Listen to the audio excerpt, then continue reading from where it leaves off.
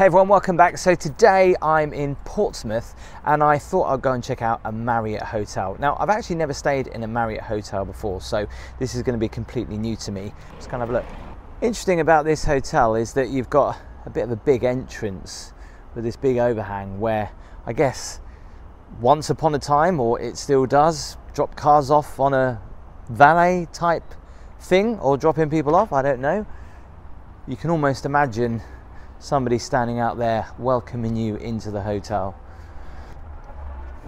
The other thing I've noticed is this feels like when you walk into a, um, a service station off a motorway, this is very unusual.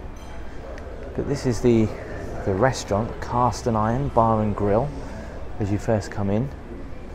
Quite nice. Little area over here not quite sure what this is about. You can actually see up to the rooms. Look at that. Grab and go, and there's nothing there. So I've already checked in. Let's head up to my room, just go and check it out. We'll check out the bar in a little bit actually.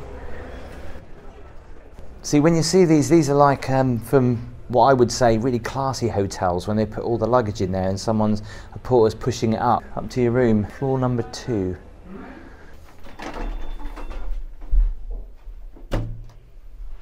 I can't tell whether the hotel is dated or not, to be honest.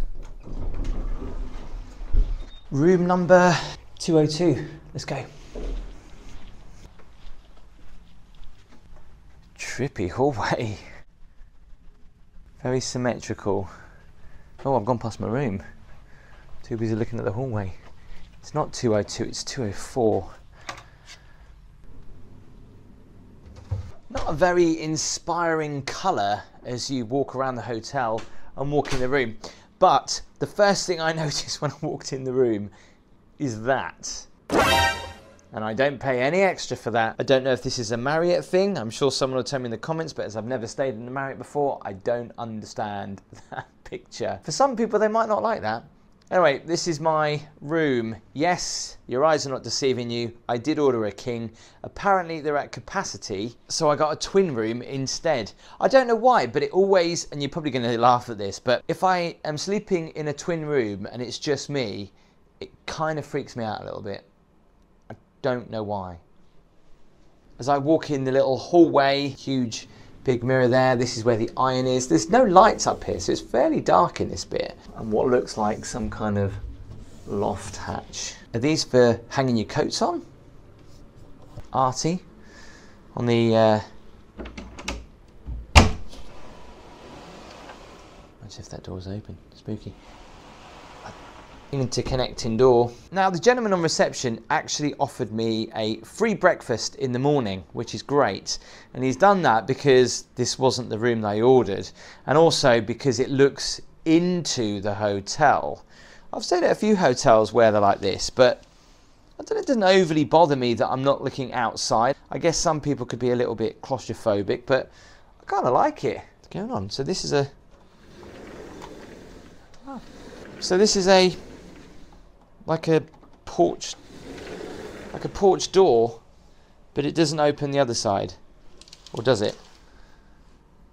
Does it? Oh, I can't open that, but I've just noticed as I'm moving that the whole frame is actually moving. Kind of a nice view onto the restaurant, kind of like that.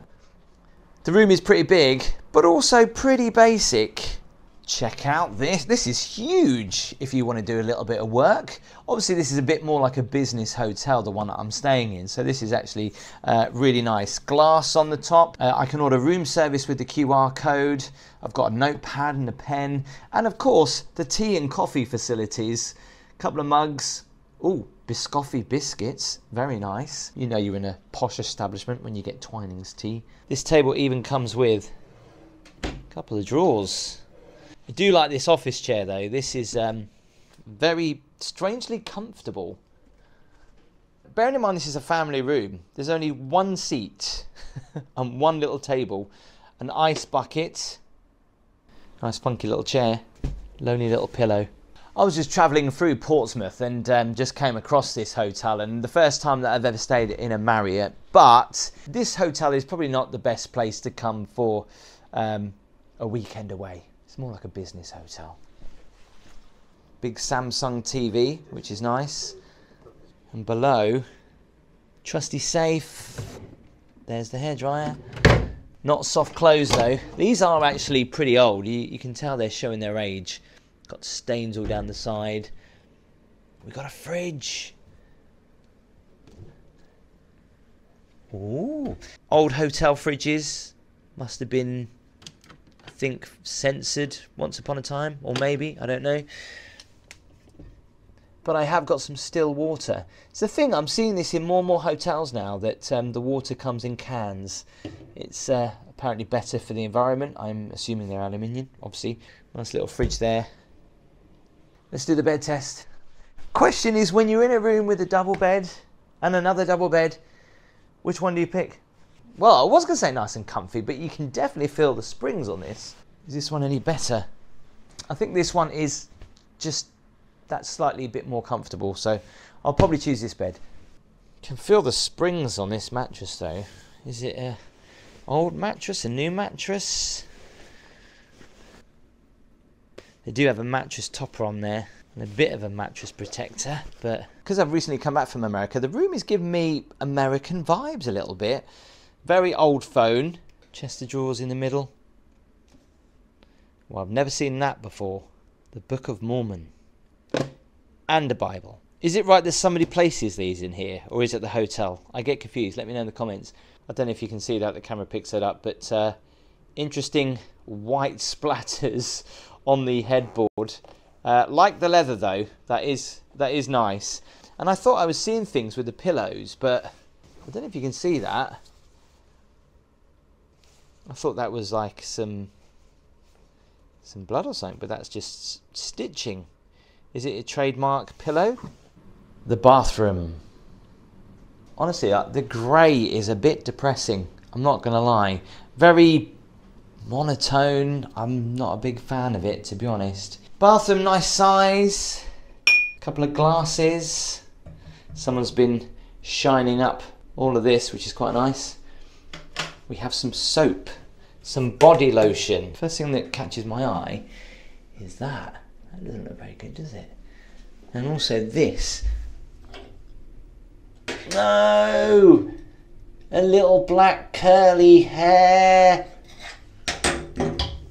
Considering this is supposed to be clean, there is a little black curly hair there, and there's a couple more around the bath. Shampoo, conditioner, shower gel. That's actually a pretty good clean shower head. This is, apart from the little black curly hairs, the rest of the bathroom seems alright. Towels are a bit hard though. In fact, yeah, they're a bit coarse. Oh, we've got some extra towels down here, maybe they're a little bit better. Looks like someone has already used my toilet roll. Well, first time being in a Marriott, I don't really know what to make of it. What I do like is the fact that I get a free breakfast in the morning because they gave me the wrong room. Not that I actually really mind. I mean, having a twin room to having a king room, does it really matter? Yes, not having an outside view, does it overly bother me? Not really. And if I get a free breakfast in the morning, I'm not going to complain. I'll see you in the morning for that breakfast. Wow, that is super busy down there for breakfast this morning. Might give it about 10 minutes. No matter where I'm staying and which hotel I'm staying in, I've always got to have a cup of tea in the room to start the day. That was, of course, until you lot told me that people wash their underwear in the kettle. Try not to think about that.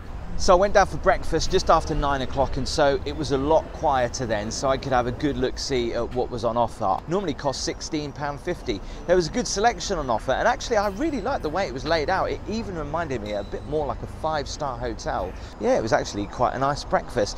Although this particular hotel does look classy, also does remind me that you're pulling up to maybe a hospital or something like that, especially from this entrance. I thought the night stay was actually really nice. It is actually quite a nice hotel, but I think this particular hotel that I, uh, I picked late last night was probably more based at business than leisure. I like the personal touch of that photo in reception as well of the, uh, I think it's the owner and the CEO. I could be wrong. I'm sure you'll tell me in the comments. The colour of the hallways in the room felt a little bit, uh, I don't know, depressing. The room was all right. Uh, the bed was very comfortable, but what was that photo all about?